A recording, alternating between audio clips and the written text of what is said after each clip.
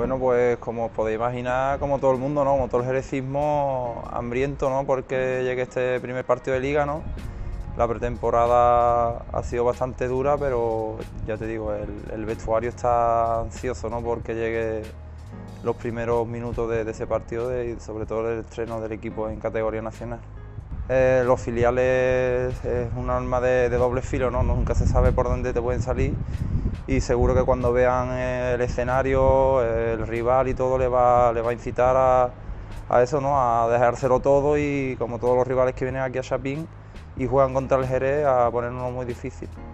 Hombre, a pesar de, bueno, como habla de los resultados, los resultados yo creo que ahora mismo no, no han sido, ¿no? no nos han valido para simplemente para eh, ver valorar el trabajo y demás, eh, no hay que tomarlo más allá, pero yo creo que el bagaje de, todos los partidos ha sido bastante positivo, ¿no? Y bueno, eh, ahora al principio de temporada pues hay que ir en que vaya todos los compañeros conociéndose y que al final, pues bueno, ahora al principio de liga siempre cuesta un poco más de, encontrarse y demás, pero yo creo que, la línea es la, la, que llevamos, ¿no? la línea a seguir y bueno, la prueba que tenemos este fin de semana ya es la, realmente importante. Hombre, la verdad que el año pasado pues se pudo también conseguir ese objetivo ¿no? que, personalmente siempre uno se intenta poner, ¿no? de ayudar en el equipo en esa faceta, ¿no? de, ser el menos goleado, de, encajar los menos goles posibles. Y este año pues bueno, va a ser complicado, pero bueno, lo, lo intentaremos otra vez por tercera vez consecutiva. Eh, de intentar de, conseguir para poder, como te he dicho antes, poder ayudar al equipo, ¿no? que siempre tener un, equipo de, los menos goleados se hace también para que esté lo más arriba posible el equipo.